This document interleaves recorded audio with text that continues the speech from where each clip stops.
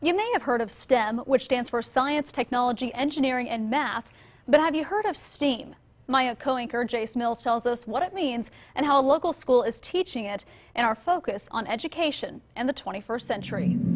This is a STEAM classroom at Topeka's Jardine Elementary. STEAM stands for Science, Technology, Engineering, Art, and Math. So when the students come here, they do um, coding, there's programming, um, some of it's just critical thinking activities, um, working together and collaborating. All students, kindergarten through fifth grade at the school, spend at least 30 minutes in the STEAM classroom every week. The classroom is equipped with age appropriate games and activities that introduce kids to skills like math and coding.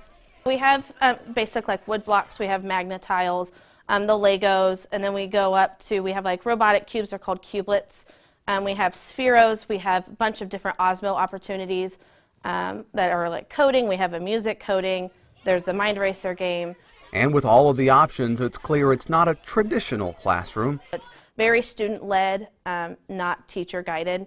Um, we obviously give them support, um, but it's really hands on learning for the kids. And because it is student led, it can get a little noisy, but Noonan says that's exactly how it should be. When the kids come to STEAM, I expect it to be kind of loud um, because they are communicating and collaborating and they get excited when they um, accomplish a task. And um, so if it wasn't loud, I would be concerned that there was no learning going on. And so that engaging loud noise um, reassures to me that there's learning going on and that we're getting together and um, finishing our task.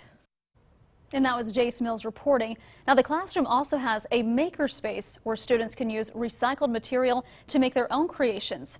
Lindsay says she had students that made their own instruments, and teachers also collaborate to make sure the STEAM classrooms are focused on grade-specific standards. Pretty cool deal going on there.